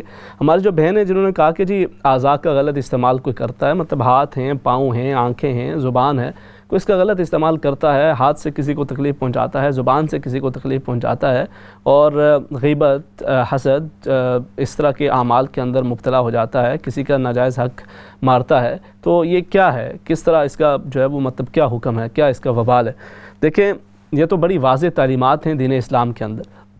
نبی کریم صلی اللہ علیہ وسلم نے ارشاد فرمایا، المسلم من سلم المسلمون من لسان ہی وید مسلمان وہی ہے کہ جس کی زبان اور اس کے ہاتھ کے شر سے دوسرے مسلمان محفوظ رہیں۔ اور اگر اس کے زبان کے شر سے یا اس کے ہاتھ کے شر سے دوسرے مسلمان محفوظ نہیں ہیں، تو گویا وہ اس طرح کا مسلمان نہیں ہے جو اللہ رب العزت کا مقصود مسلمان ہے۔ تو اسلام کا تقاضا ہی یہی ہے کہ انسان جہاں پہ اپنی عبادات کر رہا ہوتا ہے۔ بس اوقات یہ بھی ہوتا ہے کہ آپ اپنی عبادت تو بڑی کرتے ہیں، اپنے، آپ نوافل بھی ادا کرتے ہیں، آپ روزے بھی رکھتے ہیں، روزوں کی کثرت کرتے ہیں، ذکر و فکر کے اندر رہتے ہیں، مگر ساتھ ساتھ دوسروں کو ستا رہے ہوتے ہیں، تکلیف پہنچا رہے ہوتے ہیں، زبان کے ساتھ دکھا، ان کا دل دکھا رہے ہوتے ہیں، عمل کے ساتھ کسی کو نقصان پہنچا رہے ہوتے ہیں۔ تو یہ ایک انتہائی غلط عمل ہے۔ اور یہ وہ چیز ہے السار فرمایا، ما یلفظ من قول الا لدیہ رقیب عتید، کہ انسان اپنی زبان سے جو بھی کلمہ نکالتا ہے، جو بھی بات کرتا ہے، اس کو محفوظ کیا جا رہا ہوتا ہے۔ تو وہ اس کو اپنے رب تعالیٰ کے حضور جواب دہ ہونا ہے اور اس کی ہر ہر بات کا جب جواب دینا اور پھر جہاں تک آدھا کی بات ہے، تو فرمایا، یوم تشہد علیہم السنتہم و ایدیہم و ارجلہم بما کانو یعملون۔ کہ روز حشر انسان کے جو آزائیں ہیں، جو اس کے اپنے اختیار کے اندر ہیں، گویا آج کے دن یہ وہاں پر اس کا اختیار، اس کا قبضہ ختم ہو جائے گا۔ اللہ رب العزت اس دن کے عذاب سے، اس دن کی پکڑ سے محفوظ فرمائے۔ فرمایا کہ اس دن یہ اس کے یہ ہاتھ، اس کی یہ زبان، اس کے یہ پاؤں، اس کے یہ اعضاء، اس کے خلاف گواہی دے رہے ہوں گے۔ تشہد علیہم، اس کے خلاف، اس کے اوپر گواہی دے رہے ہوں گے۔ اور کہہ رہے ہوں گے کہ جو جو اس نے غلط کیا ہے، اس کا وہاں پر وہ ذکر کر رہے ہوں گے۔ اللہ رب العزت ہمیں اس ایسے عمل سے محفوظ فرمائے۔ اور وہ جو لوگ جو دوسروں کے لیے شر کا باعث بنتے ہیں، اللہ کریم انہیں ہدایت عطا فرمائے۔ دوسرا ہماری بہن نے سمینہ صاحبہ، انہوں نے اسکاٹلینڈ سے کال کی، اپنے بچوں کے لیے دعا کے لیے درخواست کی۔ اللہ رب العزت انہیں سلامت رکھے اور ان کا جو قرآن حکیم کے ساتھ جو تعلق ہے، اسے مضبوط فرمائے۔ حرمین شریفین کی حج عمرے کی پوری فیملی کو بار بار اللہ کریم حاضری کی سعادت عطا فرمائے۔ مسز ناصر برمنگم سے شامل ہوئی، ہماری ماشاء اللہ ریگولر کالر ہیں۔ اور انہوں نے بھی حج کے حوالے سے جو بات کی ہے اور بڑا خوبصورت ایک انہوں نے سوال کیا ہے۔ اور یہ کہ بہت سارے لوگ جو یہ سوچ رہے ہوتے ہیں کہ جی ہم حج پہ چلے جائیں گے تو وہاں پر سارے جو کر رہے ہوں گے ہم اس کو بھی دیکھ رہے ہوں گے اور اسی کے مطابق ہم بھی کر لیں گے۔ سارے جو وہی عمل کر رہے ہیں تو انہی کے مطابق ہم بھی کرتے چلے جائیں گے تو وہ سیکھنے کی کوشش نہیں کرتے۔ تو یہ ایک بڑا جو ہے نا وہ خود کو دھوکہ دینے والی بات ہے۔ وہاں پہ کسی کو کسی کی کوئی ہوش نہیں ہوتی۔ خاص طور پہ حج کے اوپر ایک بڑی مطلب جس کو کہتے ہیں نا، خاص کر جو پانچ دن ہوتے ہیں، آپ کے وہ بڑے مصروف ہوتے ہیں۔ اور آپ کو یہی کوشش ہوتی ہے کہ جی وہ ہر بندہ جو ہے وہ اپنی اپنی طرف اس کی توجہ ہوتی ہے، تو اس میں ایک تو یہ چیزیں بہت ساری پھر رہ جاتی ہیں۔ ایک تو یہ چیز ہے۔ دوسرا پھر حج کران ہے، حج تمتو ہے، حج افراد ہے۔ اس کے ہم انشاءاللہ جو آگے جو حج کی پھر مختلف اقسام ہیں، کوئی حج کران کر رہا ہے تو اس کا حکم کچھ اور ہوگا، حج تمتو کر رہا ہے تو وہ کئی مسائل میں جو مفرد ہے اس سے مختلف ہوگا۔ تو انسان کو یہ بھی بسا اوقات نہیں پتہ ہوتا کہ اس کا عمل اور دوسرے کا عمل وہ کس طرح سے مختلف ہونا چاہیے اور کس طرح سے مختلف ہوگا۔ تو انشاءاللہ یہ جو حج کے مسائل ہیں ان کو ہم آگے پوری تفصیل کے ساتھ یہ میں بنیاد رکھتا جا رہا ہوں۔ انشاءاللہ جب حج کی جو بیک گراؤنڈ ہے، جو اس کے شہر کعبہ اس مکہ مکرمہ کی جو تاریخ ہے، پھر بیت اللہ کی تعمیر کی جو تاریخ ہے، پھر صفا مروہ اور جو پورا ایک فلسفہ حج ہے، انشاءاللہ یہ تمام چیزیں ساتھ ساتھ اور پورا پھر حج کا جو طریقہ ہے ایک ایک انشاءاللہ اس کی جو چیز ہے، جو پانچ دنوں کا خاص طور پہ ہے، اس کو انشاءاللہ اس طرح سے بیان کرنے کی کوشش کریں گے کہ آپ کو آپ اگر جائیں تو آپ کے سامنے گویا ایک نقشہ سامنے ہو اور آسانی کے ساتھ آپ اسے کرتے رہیں۔ تو یہ سیکھنے کی بہرحال کوشش ضروری ہے۔ یہ کہہ دینا کہ جی بس سیکھنے کی کوئی ضرورت، وہاں پہ جیسے سارے کر رہے ہوں گے، کر لیں گے، تو یہ پھر آپ، پھر وہاں پہ آپ پچھتا رہے ہوں گے، لیکن تب پچھتانے کا فائدہ نہیں ہوگا۔ اس کے علاوہ ہماری بہن شامل ہوئی، وہ کہتی ہیں کہ بچی جو ہے وہ پڑھتی نہیں ہے، تو کیا کریں؟ دیکھیں، ایک تو میری بہن یہ کریں کہ آپ جو ہے نا وہ ٹیچر چینج کر لیں۔ بسا اوقات یہ بھی ہوتا ہے کہ بچے جو ہے وہ کسی ایک جگہ پہ جاتے ہیں اور ان کی جو عادت ہوتی ہے وہ مطلب پسند نہیں کر پاتے اور ان کے ذہن کے اندر یہ ہوتا ہے کہ ہم وہ وہاں پہ کمفرٹیبل فیل نہیں کر رہے ہوتے۔ اگر آپ ان کو زبردستی بھیجتے رہیں گے، اصرار کرتے رہیں گے، تو پھر ان کا کیا ہوگا کہ وہ بالکل ہی، وہ پڑھنے سے بالکل ہی بدل ہو جاتے ہیں بچے۔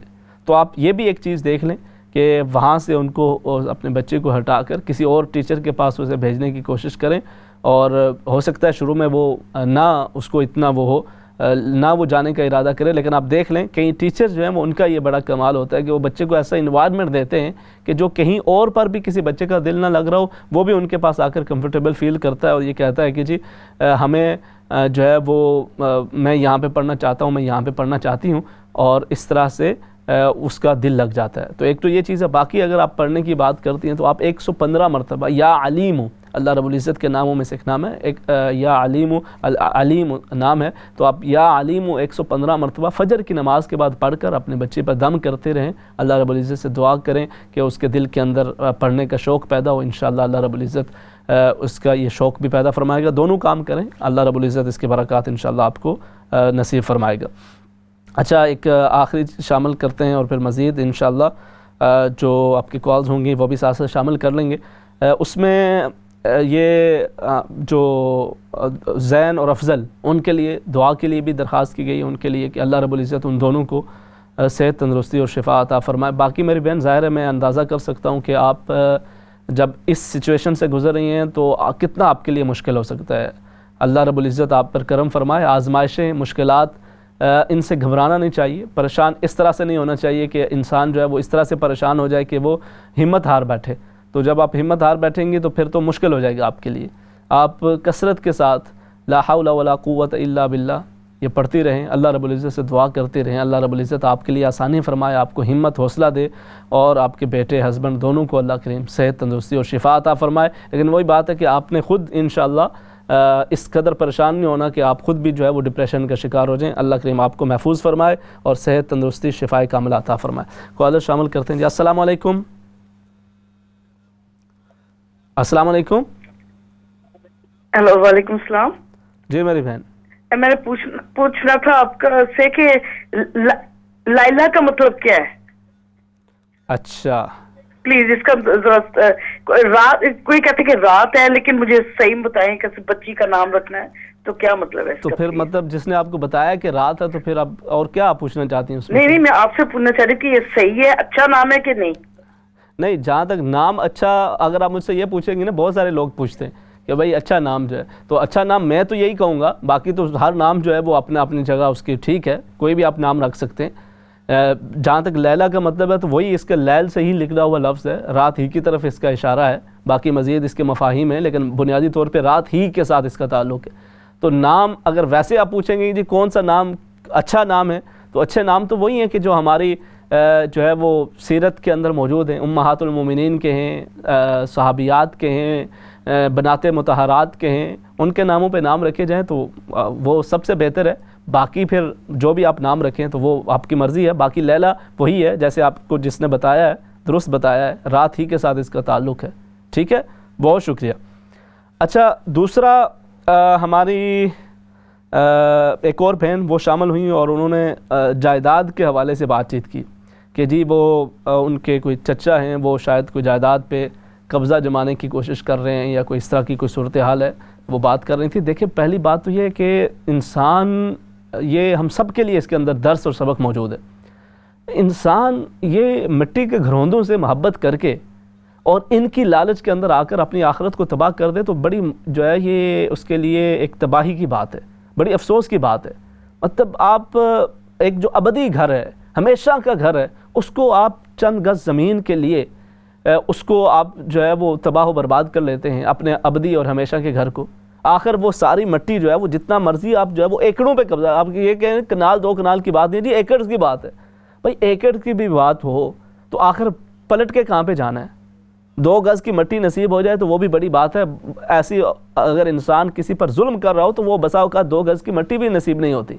اور انسان کو قبر بھی نہیں ملتی، اللہ رب العزت محفوظ فرمائے۔ ایسے ایسے واقعات، ایسے ایسے حادثات پیش آتے ہیں، یہ جو کسی پر ظلم کرنا ہے نا، جو مظلوم کی جو دعا ہوتی ہے، بغیر کسی رکاوٹ کے عرصے الہی تک جا پہنچتی ہے۔ کسی کی زمین پر قبضہ کرنا، کسی کے مکان پر قبضہ کر لینا۔ اچھا بسا اوقات چلاک، انسان سمجھتا ہے کہ میں بڑا چلاک ہوں۔ میں قانون کو استعمال کرنا چاہتا ہوں، میرے تعلقات ہیں، ایسی کی تیسی، میں تو یہ کچھ بھی کر لیں۔ یہ میں مجھ سے یہ قبضہ نہیں چھڑوا سکتے، مجھ سے یہ نہیں ہوگا، وہ نہیں یہ کر سکتے، مجھے کوئی نہیں دبا سکتا، میں جتنا چاہوں میں اس پہ قبضہ کر سکتا ہوں، مجھے کوئی روکنے والا نہیں ہے، فلاں کے ساتھ میرے تعلقات ہیں فلاں کے ساتھ میرے تعلقات ہیں نبی کریم صلی اللہ علیہ وسلم نے فرمایا کہ یہ جو ظلم ہے نا، اور یہ جو کسی کی آپ زمین پہ، کسی کے جائیداد پہ قبضہ کرتے ہیں اس طرح سے، تو یہ روز حشر ایک توک بنا کر گلے کے اندر ڈال دیا جائے گا۔ اور پھر اس کے بوجھ کے تلے انسان جو ہے وہ دب جائے گا۔ اور بھی ایسا پھر اس کو فرمایا کہ وہ جہنم کے، اس کو گڑے کے اندر پھینک دیا جائے گا۔ اس کی بہت زیادہ وعیدیں ہیں۔ اچھا حشر کی جو وعیدیں ہیں وہ تو ہیں ہی، لیکن اس کے ساتھ ساتھ جو یہاں کی جو وعید ہے نا، وہ بھی بہت زیادہ ہے۔ اور یہاں پہ ہم دیکھتے ہیں، اس دنیا کے اندر ہم نے دیکھا ہے کہ کس طرح سے لوگ مطلب آپ اگر ارد گرد دیکھیں گے نا، وہ ان کا ایسا انجام ہوتا ہے جو کسی پر ظلم کرتے ہیں کہ الامان والحفیظ۔ وقتی طور پر ہو سکتا ہے کہ وہ مطلب بڑی ایک عیش، عشرت والی زندگی گزار رہے ہوں۔ لیکن بالآخر، ان نہ بخش ربی کلا شدید آپ کے رب کی جو پکڑ ہے، وہ بڑی شدید ہے۔ اس سے انسان کو ڈرتے رہنا چاہیے۔ تو تو جو انہوں نے جو ذکر کیا ہے، اس کو اسی پہ جو بات ہے، وہ آپ نے پوچھا۔ تو باقی پڑھنے کے لیے جو آپ نے بات ذکر کی ہے، وہ ہے سورہ آل عمران کا۔ آپ آیت کریمہ نمبر ون فائیو فور آیت کریمہ ہے۔ اس کو آپ بارہ مرتبہ پڑھیں، اول آخر دروشی پڑھیں اور جو ہے وہ پڑھ کے دعا کریں اور کہ اللہ رب العزت انہیں بھی ہدایت عطا فرمائے اور آپ کا جو حق ہے وہ آپ کو مل جائے۔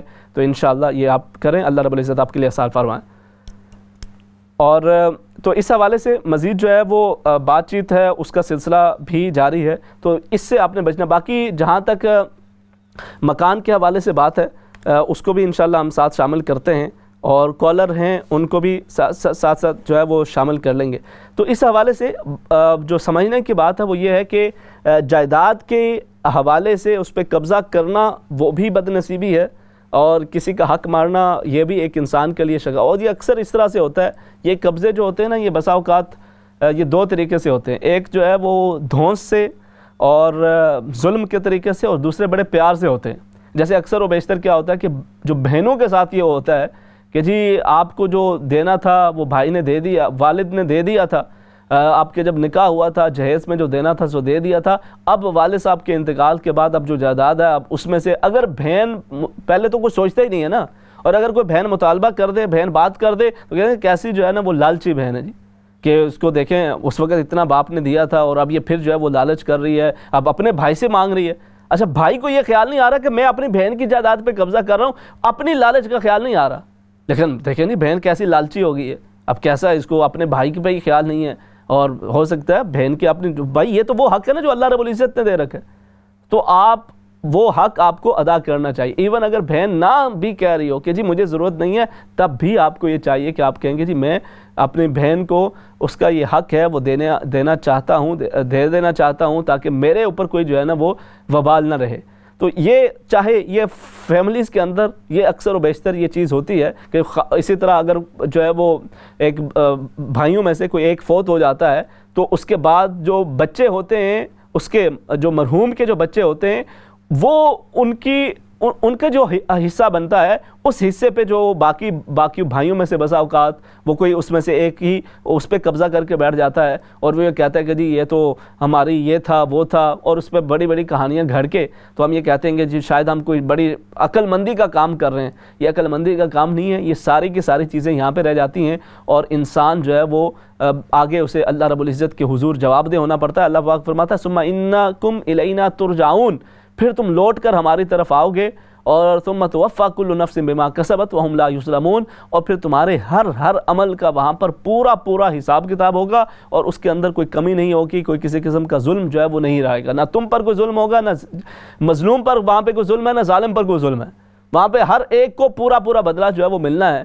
تو اس سے پہلے کہ انسان اس دنیا سے کسی کا حق مار کر جائے، اسے یہ چاہیے کہ وہ جو حقوق جن کے اس پر ہیں، ان کے حقوق کو پورا کرنے کی کوشش کرے۔ تو ایسا جو جائیداد کا مسئلہ ہے، سورہ آل عمران کی آیت 154 اس کو آپ بارہ مرتبہ اول آخر درود شریف کے ساتھ آپ 71 ڈیز اس کو انشاءاللہ جاری رکھیں اور بڑا جو ہے وہ یقین کے ساتھ آپ دعا کریں۔ اللہ رب العزت آپ کے لیے آسانی فرمائے اور ان کو ہدایت عطا فرمائے کہ وہ نہ تو آپ کے لیے مسئلہ کریں اور نہ ہی اپنی عقبہ جو ہے وہ اس کو خراب کریں۔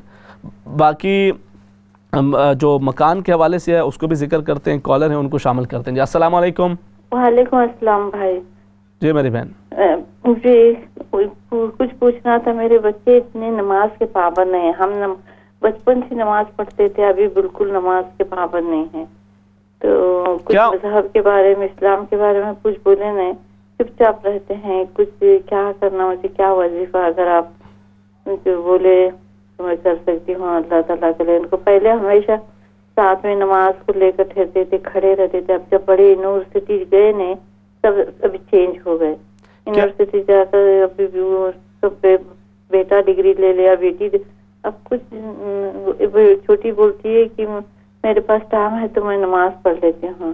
بڑی تو تو کچھ یہ بھی نہیں ہے۔ اس کا تو طلاق ہو گیا ہے بہت پریشان ہوں۔ چلے میری بہن اللہ پاک ان کو صراط مستقیم پر گامزن فرمائے اور اس نماز کی طرف ان کی بھی توجہ ہو میں مزید اس حوالے سے ذکر کرتا ہوں ٹھیک ہے؟ نیکسٹ کالر جی السلام علیکم۔ وعلیکم السلام۔ جی۔ میں نے پوچھنا ہے مولانا صاحب بول رہے ہیں؟ جی جی میری بہن آپ لائیو میں بات کیجیے۔ اچھا اچھا میں نے ان سے یہ پوچھنا ہے کہ اسلام میں کیا ہے کہ اگر کسی کی زمین ہے تو وہ خود ہی اپنی مرضی سے بیچ دیتے ہیں جبکہ ہم ان کو کہتے ہیں کہ بھائی ہماری نہیں بیچنا ابھی نہیں ہم نے بیچنی ہمیں ضرورت نہیں ہے۔ تو وہ بیچ دیتے ہیں اور رشوت وغیرہ دے کے کام کرتے ہیں۔ تو بعد میں وہ ہمیں بتاتے ہیں کہ آپ کی زمین بیچ دی ہے۔ تو اس کا اسلام میں کیا ہے؟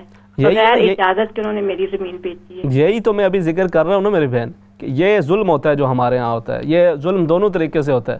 اور کرنے والے اکثر اپنے ہوتے ہیں کہ مطلب آپ کبھی تو وہی یہ رشوت کے ساتھ کبھی دھون دھاسلی کے ساتھ اور کبھی جو ہے وہ شفقت محبت کے ساتھ بظاہر کر کے تو یہ عمل ہو جاتا ہے۔ صحیح ہے؟ تو میں اس پہ انشاءاللہ مزید جو ہے وہ بات کرتا ہوں۔ اللہ رب العزت ہدایت عطا فرمائے۔ ظاہر ہے اس کی تو میری بہن کوئی اجازت نہیں ہے نا۔ کوئی اس طرح اجازت نہیں ہے نا۔ بالکل بالکل اس طرح تو اس کی کوئی اجازت نہیں ہے۔ جبکہ میں نے ان کو بولا بھی کہ میری ابھی مجھے نہیں بیچنی لیکن پھر بھی انہوں نے بیچ دی تو بعد نے مجھے بتایا۔ ہاں نہیں نہیں یہ تو ظلم ہے نا۔ اور پھر اسی اور پھر آپ کو بہرحال اس میں سے کچھ ملا بھی؟ حصہ ملا جو کچھ تھا جو اس کا نکلا؟ صحیح قیمت؟ ہاں جی۔ وہ تو انہوں نے رشوت میں اس میں سے نکال دیا جس جس کو دیا کہ یہ کام کروا دو۔ تو پتہ نہیں ابھی میرے بینک میں ڈال دیا ہوا ابھی میں نہ پاکستان گئی ہوں تو نہ میں نے پتہ اللہ پاک یا ہدایت عطا فرمائے میرے آمین ٹھیک ہے چلیں بہت شکریہ آپ شامل ہوئی ہیں۔ جی۔ اللہ آپ کے لیے آسانی فرمائے۔ وعلیکم السلام ورحمۃ اللہ وبرکاتہ۔ یہ یہ جو مختلف طریقے ہیں ناظرین کرام یہ ہماری سوسائٹی کی وہ بڑے افسوسناک واقعات ہیں۔ کہ جن کو ہم بساؤ کا ذکر نہیں کرتے، میرے تو اکثر بہرحال پروگرامز کے اندر کوشش ہوتی ہے کہ جو سوشل ایشوز ہوتے ہیں، ان کو ڈسکس کیا جائے، لیکن اب حج کے حوالے سے ہم چلیں ایک ایک سیریز چلا رہے ہیں۔ وغیرہ یہ اللہ پاک معاف کرے، اس کے اندر بڑے بڑے بسا اوقات جو ہے نا مطلب بظاہر بڑے دیندار لوگ نظر آتے ہیں۔ بڑے ماتھے پہ محراب بھی ہوتے ہیں، بڑی بڑی داڑیاں بھی ماشاءاللہ ہوتی ہیں۔ حج عمرے پہ بھی بڑی پابندی کے ساتھ جا رہے ہوتے ہیں۔ نمازوں کے اندر بھی پہلی صفوں کے اندر نظر آتے ہیں۔ اور پھر اس کے ساتھ ساتھ اپنے بھائی، اپنی بہن، اپنے جو ہے وہ بھتیجی، اپنی بھانجی اپنے مطلب اپنے ہی فیملی یا پھر اپنے پڑوسیوں کی جائیداد پہ ان کی چیزوں پہ قبضہ بھی کیے ہوئے ہوتے ہیں، ان کا حق بھی مار رہے ہوتے ہیں۔ تو اللہ رب العزت جو ہے وہ ہمارے اعمال، دیکھیں جو نماز میں پڑھتا ہوں نا، جو روزہ رکھتا ہوں، جو نفل پڑھتا ہوں، جو قرآن حکیم کی تلاوت کرتا ہوں، وہ میرے لیے فائدہ مند ہے۔ تو اس کا میرے ساتھ، وہ میرا تعلق ہے۔ اس کے اندر کوئی کمی کوتاہی ہوتی ہے؟ وہ اللہ رب العزت اس میں مجھے معافی عطا فرمانے کا عطا فرما دیتا ہے۔ جب اس سے بخشش مانگو، اس سے مغفرت مانگو، اللہ کریم بخشش مغفرت فرما دیتا ہے۔ لیکن یہ جو کسی کا حق آپ نے مارا ہے، یہ جو کسی کی زمین پر، کسی کے جائیداد پر یا کسی کے کسی بھی حوالے سے جو آپ نے حق مارا ہے نا، یہ اس وقت تک نہیں معاف ہوگا کہ جب تک کہ جس پہ آپ نے ظلم کیا وہ معاف نہ کرے۔ اور پھر چاہے آپ کی کتنی بھی نمازیں کیوں نہ ہوں، کتنے بھی آپ کی جو ہے نا یہ بار بار یہ آپ کی نیکیوں کے چرچے کیوں نہ ہوں، باہر سوسائٹی کے اندر جی بڑے ماشاءاللہ یہ صاحب جو ہے نا وہ بڑے نیک ہیں۔ اور اندر سے جو اپنے ہیں، ان کو معلوم ہو کہ یہ کس طرح کا ظلم و زیادتی کرتے ہیں۔ اور بس اوقات بیچارے وہ مظلوم لوگ بھی وہ بھی خاموش ہو جاتے ہیں، کوئی آپشن ہی نہیں ان کے پاس ہوتا۔ لیکن یہ نہ بھولا جائے کہ اللہ رب العزت کی ذات یقیناً ہے کہ جو ان تمام باتوں سے بخوبی واقف ہے، تو جو جو اس طرح کی چیزوں کے اندر ملوث ہوتے ہیں، اللہ رب العزت محفوظ فرمائے، انہیں اس بات کا خیال رکھنا چاہیے کہ اس دنیا کے اندر تو ہم ہماری عقل مندی اور بڑی ہم اس کو فراست اپنی عقل مندی سمجھ رہے ہوتے ہیں، مگر یہ عقل مندی نہیں ہے، یہ بہت بڑی بیوقوفی ہے۔ تو اس سے ہمیں خود کو اجتناب کرنا چاہیے۔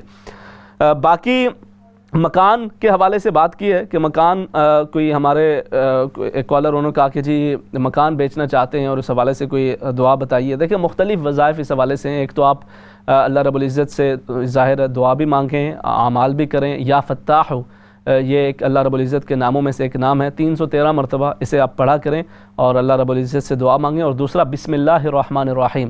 یہ آپ فجر کی سنتوں اور فرضوں کے درمیان اس کی ایک تسبیح، ایک سو مرتبہ ولاخ دروشی پڑھ کے یہ دعا مانگیں۔ اور جب یہ آپ عمل کریں، ویسے تو آپ بہت ساری دعائیں کرتے ہیں نا، لیکن جب آپ یہ عمل کریں تو صرف فقط جو ہے وہ یہی آپ دعا کر رہے ہوں کہ الہ العالمین یہ جو میرا مکان کا معاملہ ہے، اس کے اندر میرے لیے آسانی فرما دے، تو انشاءاللہ اللہ رب العزت آپ کے لیے راستے کھولے گا، آپ کے لیے آسانی ہو جائے گی۔ بیٹے بیٹیاں، نماز نہیں پڑھتے آپ آپ کی بات سے اندازہ ہو رہا ہے کہ وہ اب ظاہر جوان شادی شدہ ہو چکے ہیں۔ ظاہر آپ کو تکلیف تو ہوتی ہے، دکھ ہوتا ہے، آپ کوشش اپنی جاری رکھیں۔ آپ اپنا پیغام دیتی رہیں، لیکن جب بچے بچیاں بالغ ہو جاتے ہیں تو والدین نے اگر اپنی جو ذمہ داری ہے، اس کو پورا کیا ہوتا ہے، ہر کوئی اپنا بہتر جانتا ہے۔ تو اس کے بعد یہ ہے کہ ان پر گناہ اس حوالے سے نہیں ہوگا۔ جب انہوں نے اپنی کوشش پوری کی ہے، کر رہے ہیں، تو آپ پر کوئی گناہ نہیں ہوگا، پھر وہ اپنے عمال کے لیے اللہ رب العزت سے جواب دیں۔ لیکن ظاہر ایک والدین ہونے کی حیثیت سے ناتے آپ کو تکلیف محسوس ہوتی ہے آپ دعا کرتے رہیں، تو آپ ان کے لیے یقیناً دعا کرتی رہیں۔ اللہ رب العزت سے مایوس نہ ہوں، آپ دعا کرتے رہیں، انشاءاللہ آپ کی دعا رنگ لائے گی۔ باقی اللہ رب العزت کے اسماء گرامی ہے یا علیم، یا رشید، یا ہادی۔ العلیم، الرشید اور الہادی۔ تو یہ تین نام ہیں۔ ان کو آپ جو ہے یا علیم یا رشید یا ہادی، یہ تین نام آپ انشاءاللہ ان کا معمول بنا لیں۔ آپ ان کو ہر روز سیونٹی ٹو ٹائمز ان کو پڑھیں اور اول آخر دروش پڑھ کے اللہ رب العزت سے دعا مانگتی رہیں کہ اللہ رب العزت آپ کی اولاد کو سرات مستقیم پر گامزن فرمائے، اللہ رب العزت ان کے لیے بھی آسانی فرمائے اور آپ کو بھی بہتری عطا فرمائے۔ تو یہ مختلف جو سوالات ہیں، ان کا بھی ہم نے ذکر کیا ناظرین کرام اور جو آج ہم، جو حج کے حوالے سے جو ہم بات چیت کر رہے ہیں، انشاءاللہ اس کو بھی ہم کنٹینیو رکھیں گے۔ کل کے پروگرام کے اندر بھی اس کو مزید آگے بڑھائیں گے اور یہ جو ایک ہسٹری ہے، جو بیک گراؤنڈ ہے، اس کا ذکر کریں گے اور اس کے بعد پھر جو اس کا فلسفہ حج ہے اور جو مسائل ہیں، ان کے ان کے جو جو سلسلہ ہے، اس کو ہم انشاءاللہ آگے بڑھائیں گے اور جاری رکھیں گے۔ آج جو ہم نے سوال رکھا تھا کہ حضرت ابراہیم علیہ السلام کی اولاد میں سے کس کی اولاد میں آگے؟ یعنی آپ کے دو صاحبزادے ہیں، حضرت اسحاق اور حضرت اسماعیل علیہ السلام۔ تو ان میں سے کس کی اولاد سے جناب سیدنا رسول اللہ صلی اللہ علیہ وسلم ہے؟ تو ماشاءاللہ آج سب نے درست جواب دیا ہے۔ اللہ رب العزت آپ سب کو برکتیں عطا فرمائے۔ آپ شامل ہوتے ہیں، دین کو سیکھنے کی کوشش کرتے ہیں، شمولیت اختیار کرتے ہیں۔ اللہ کریم آپ کو برکتیں عطا فرمائے۔ تو حضرت اسماعیل علیہ السلام کی اولاد سے جناب سیدنا رسول اللہ صلی اللہ علیہ وسلم۔ اور باقی یعنی حضرت اسحاق علیہ السلام سے، جو ہے، وہ حضرت عیسیٰ علیہ السلام تک تمام جتنے بھی انبیاء کرام آتے رہے، وہ آپ کی نسل سے تھے۔ اور حضرت یعقوب علیہ السلام جن کا ایک نام اسرائیل بھی ہے، انہی سے پھر آگے سارے بنو اسرائیل کے انبیاء کرام آئے۔ اور حضرت اسماعیل علیہ السلام پھر سیدنا رسول اللہ صلی اللہ علیہ وسلم، ہمارے آقا و مولا، آپ ان کی اولاد سے ہیں۔ اور اس طرح چاہے وہ حضرت اسحاق علیہ السلام کی اولاد ہوں یا حضرت اسماعیل علیہ السلام کی اولاد ہوں، مگر بات مختصراً یہی ہے کہ حضرت ابراہیم علیہ السلام کے بعد جتنے بھی انبیاء کرام آئے وہ سب کے سب آپ کی اولاد اور آپ کی نسل سے ہوئے۔ اور یہ ایک بہت بڑی سعادت اور بہت بڑا شرف اور بہت بڑا مقام ہے جو اللہ رب العزت نے حضرت ابراہیم علیہ السلام کو عطا فرمایا۔ حضرت ابراہیم علیہ السلام نے کس طرح سے شہر مکہ کو آباد کیا؟ وہاں پر سب سے پہلے کون آیا؟ کس طرح سے وہاں پر قبیلے آتے گئے اور وہ ویران جگہ کس طرح سے رونق وہاں پہ قائم ہوتی گئی؟ انشاءاللہ کل اس کا ذکر کریں گے۔ اللہ رب العزت سے دعا ہے کہ مجھے، آپ کو، ہم سب کو حج کے یہ دن آ رہے ہیں جو جو اس کے لیے تیاری کر رہے ہیں، اللہ پاک ہم سب کو حج مقبول مبرور نصیب فرمائے اور ہم سب کے لیے بار بار حرمین شریفین کی حاضری کی سعادت کے اندر آسانیاں فرمائے۔ آمین۔ و آخر دعوانا ان الحمد للہ رب العالمین۔